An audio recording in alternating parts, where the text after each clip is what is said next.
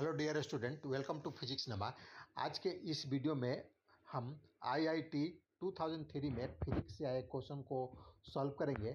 यह question projectile motion से लिया गया है। तो इसमें देखते हैं।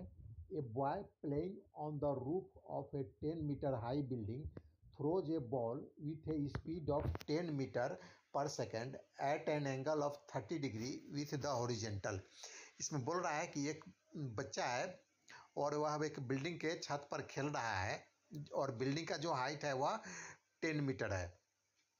और यह एक बॉल को टेन मीटर पर सेकेंड के स्पीड से थ्रो करता है और जो जिस डायरेक्शन में बॉल थ्रो करता है, वह डायरेक्शन है ओरिजेंटल के साथ थर्टी डिग्री एंगल बनाते हुए।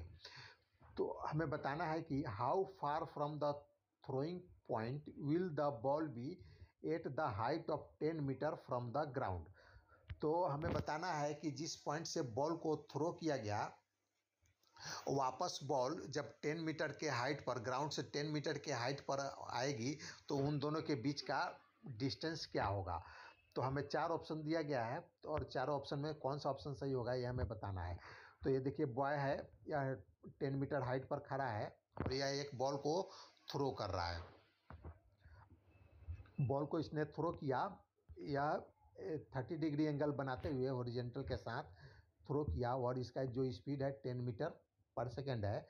और जब बल, बॉल सेम हाइट पर, ग्राउंड से सेम हाइट पर आया तो यानी उसका भी हाइट हो गया टेन मीटर। तो अगर सेम हाइट पर जब आया तो इसको हम लोग रेंज बोलेंगे। यहाँ से जिस पॉइंट से बॉल को थ्रो किया गया और सेम हाइट पर बॉल वापस आ गया ग्राउंड से टेन मीटर हाइट पर वापस आ गया तो इन दोनों के बीच का जो डिस्टेंस होगा, उसको रेंज बोलेंगे।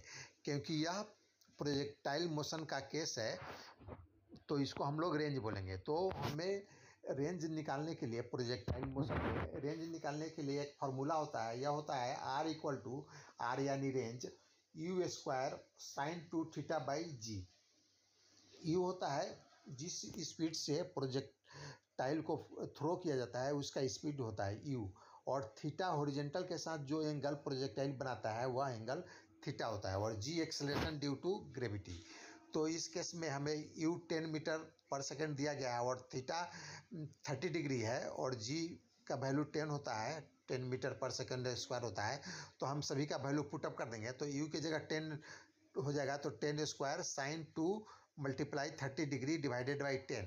तो इसको फर्दर सॉल्व करेंगे तो यह हो जाएगा hundred sine sixty degree by ten.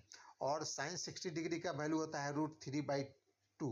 तो यह हो जाएगा ten root three by two और इसको फर्दर सॉल्व करेंगे तो यह हो जाएगा फाइव रूट थ्री और रूट थ्री का जो वैल्यू होता है वो होता है one point seven three two.